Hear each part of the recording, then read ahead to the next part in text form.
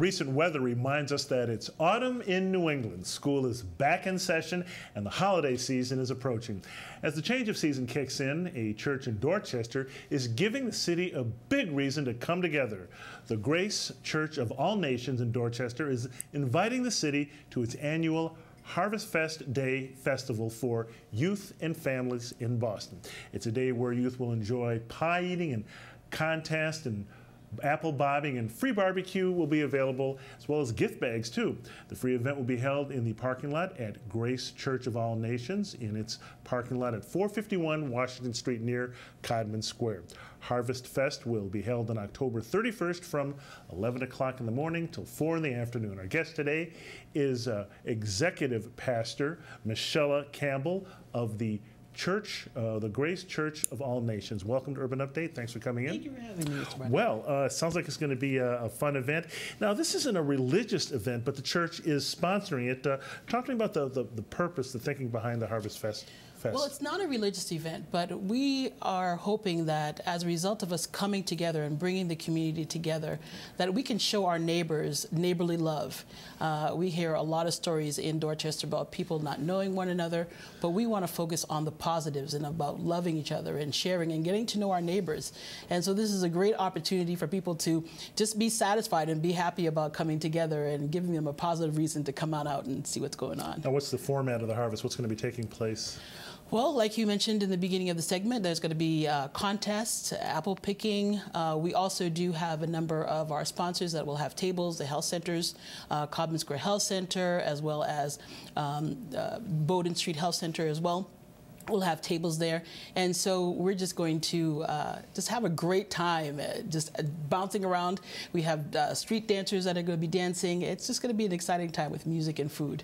Now, uh, this is the Dorchester Centered event, but you're inviting really all neighborhoods, aren't you? Everyone from Boston. Yeah, absolutely. It's it is Dorchester centered. We want to focus on uh, our local community and the people who are, who live around us, but we also think it's important for all other neighborhoods to come together and just to know that good things happen in Dorchester. See for yourself that Dorchester is a good place to be. Talk to me about, I guess, what uh, the, the, children and families are getting about this and the whole aspect of a community uh, building um, and the purpose of that here.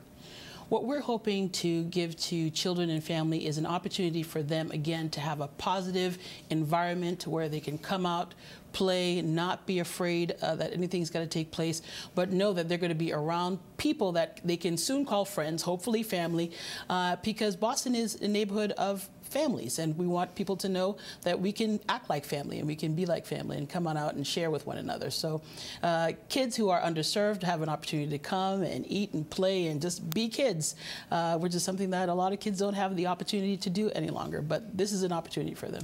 You make a point of making sure everyone knows that this is a free event. Uh, why? Uh, I guess why is that important in, in, your view?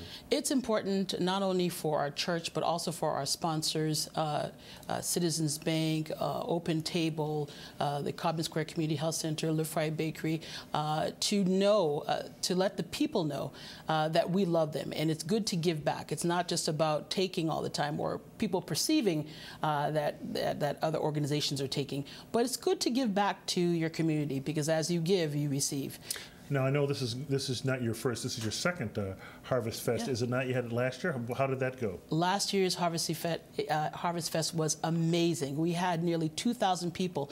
Not only are we expecting to have that and more, but we've invited our community leaders to come out, police departments to come out. Um, different stores and, and, and individuals from other neighborhoods to come and to share with us and just kind of have an awesome time in Dorchester.